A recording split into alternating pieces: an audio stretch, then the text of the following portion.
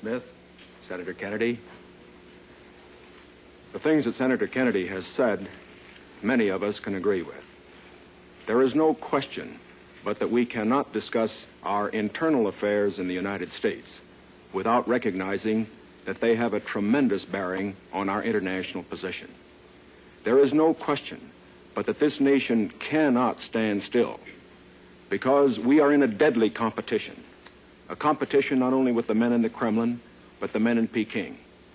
We're ahead in this competition, as Senator Kennedy, I think, has implied. But when you're in a race, the only way to stay ahead is to move ahead. And I subscribe completely to the spirit that Senator Kennedy has expressed tonight, the spirit that the United States should move ahead. Where then do we disagree? I think we disagree on the implication of his remarks tonight and on the statements that he has made on many occasions during his campaign to the effect that the United States has been standing still.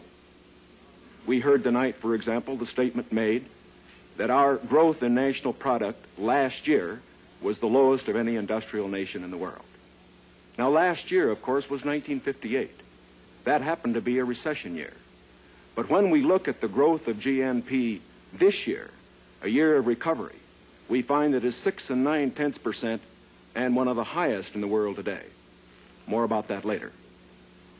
Looking then to this problem of how the United States should move ahead and where the United States is moving, I think it is well that we take the advice of a very famous campaigner. Let's look at the record. Is the United States standing still? Is it true that this administration, as Senator Kennedy has charged, has been an administration of retreat, of defeat, of stagnation?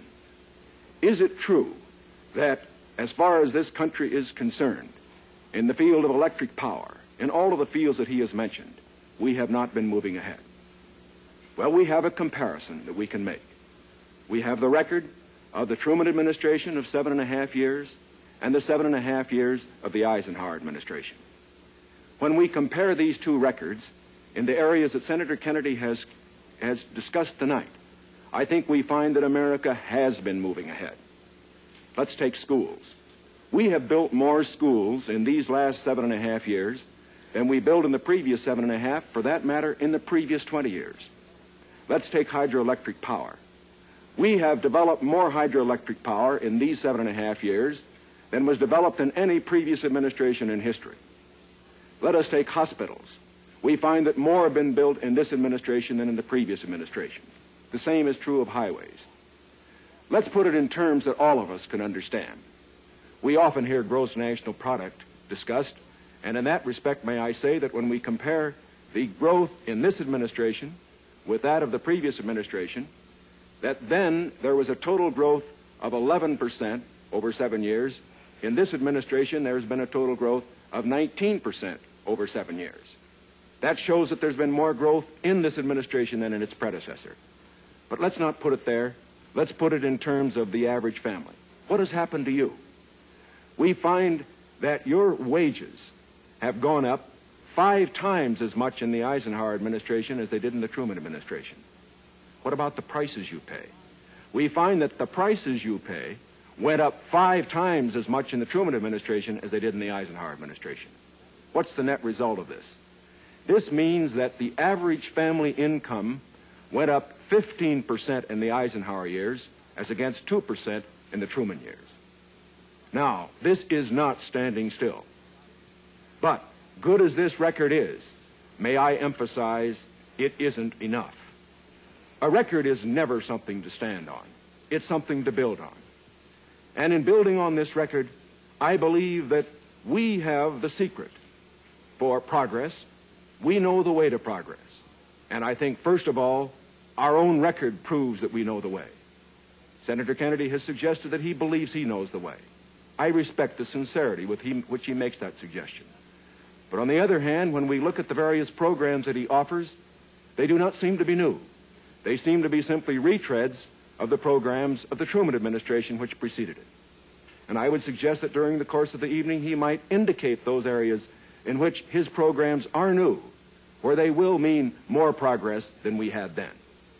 What kind of programs are we for? We are for programs that will expand educational opportunities, that will give to all Americans their equal chance for education, for all of the things which are necessary and dear to the hearts of our people. We are for programs, in addition, which will see that our medical care for the aged uh, is, are much, is much better handled than it is at the present time. Here again, may I indicate that Senator Kennedy and I are not in disagreement as to the aim. We both want to help the old people. We want to see that they do have adequate medical care. The question is the means. I think that the means that I advocate will reach that goal better than the means that he advocates.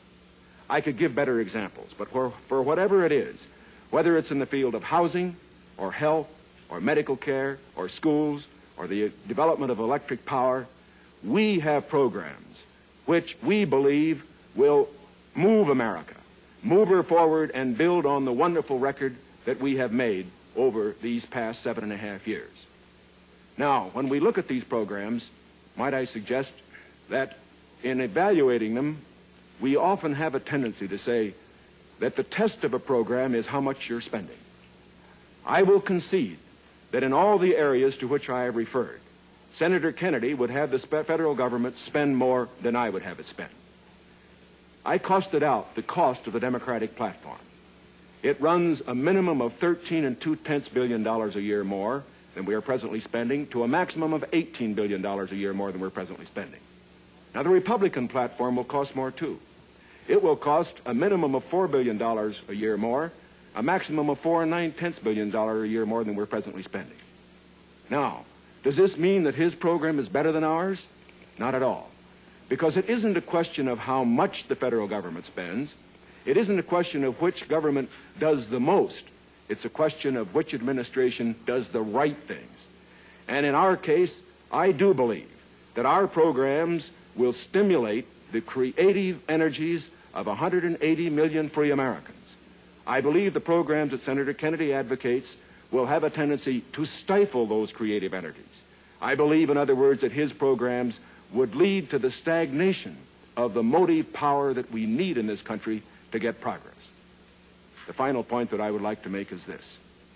Senator Kennedy has suggested in his speeches that we lack compassion for the poor, for the old, and for others that are unfortunate. Let us understand throughout this campaign that his motives and mine are sincere. I know what it means to be poor. I know what it means to see people who are unemployed. I know Senator Kennedy feels as deeply about these problems as I do. But our disagreement is not about the goals for America, but only about the means to reach those goals.